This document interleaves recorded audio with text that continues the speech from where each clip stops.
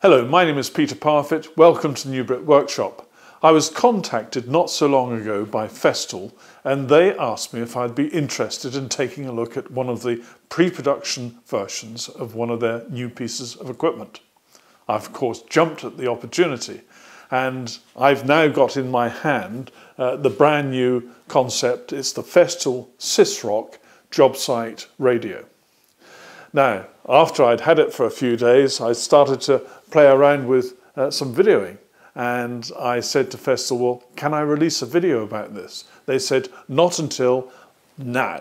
So here is the video that I've made about Festool's latest device, the Sysrock job site radio. Now, when you open the box, this is what you'll find inside. You'll find the Sysrock itself. There'll be a power supply with some sort of uh, mains plug that suits the country in which you're in. Uh, there's a, a, lead which allows you to connect an MP3 player directly uh, to the Sysrock, and there's a carrying case which is uh, looks familiar. It's very similar uh, to the one that the Sys lights come in.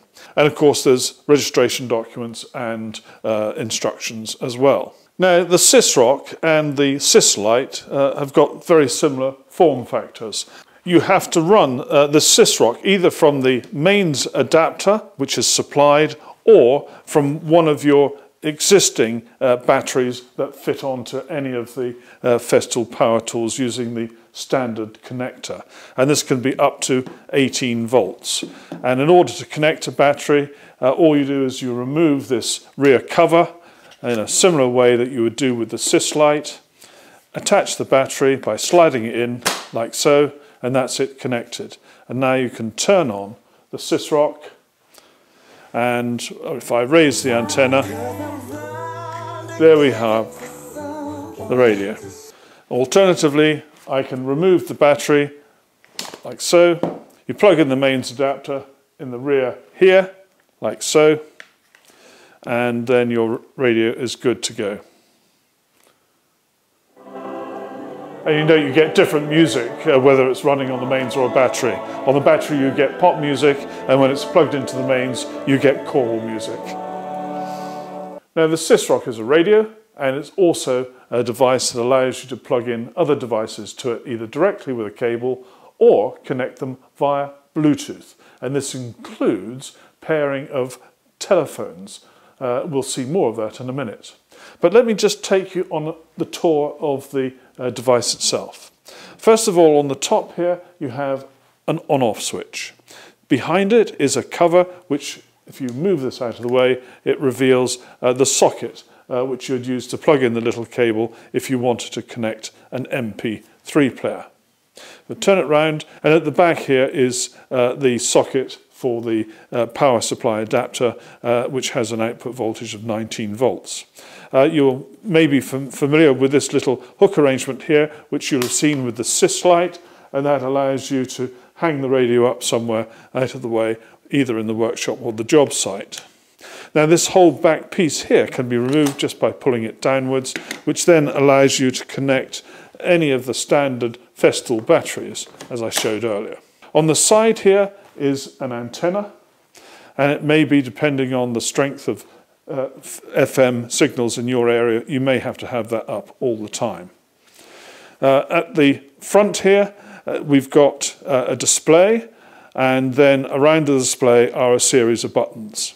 Now, the uh, display will uh, indicate the frequency, and if the radio station has an ID uh, name, it may show that as well. It uh, tells you that you're running FM, and it shows the signal strength uh, next to that FM sign.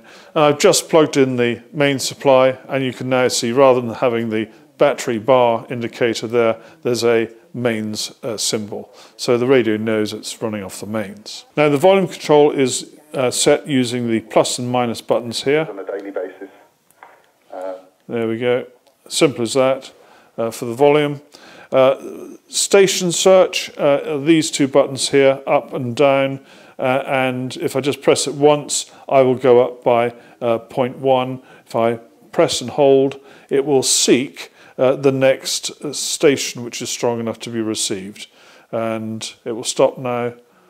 There we go, and there's a radio station And in order to store a radio station that you may have found, this one, uh, I will then press and hold the number four. It says on the display set memo, and that's it. So if I go back to that one, which was 88.5, now there's the one I just set. Now the SysRock can be paired with a Bluetooth device, uh, such as uh, this iPhone, for example. Uh, and in order to do that, it's very simple. I'm just going to put the source here. Uh, that first time I press the button, it says auxiliary. That would be for the cable at the top. Uh, the second time I press the button, it says Bluetooth. So I'm now going to turn my phone on and I'm going to go to settings and I'm going to go to Bluetooth and here I'm being offered the SysRock, so I'm going to click this and accept it, and now that's connected. So it says Peter's iPhone, and if I now choose to play a bit of music from here, and I'll turn the volume up. And the other thing you can do is to uh, call it.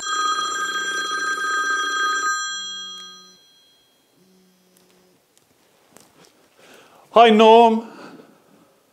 Peter, Yeah. stop calling me Norm. Oh, well. Oh, coffee. Great. Thank you. Well, I hope Norm didn't mind me doing that. Now, there are a couple of things I want to just point out to you about this radio.